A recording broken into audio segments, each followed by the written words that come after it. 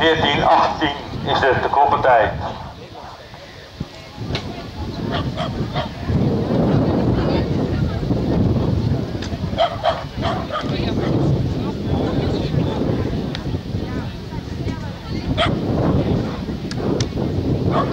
Thank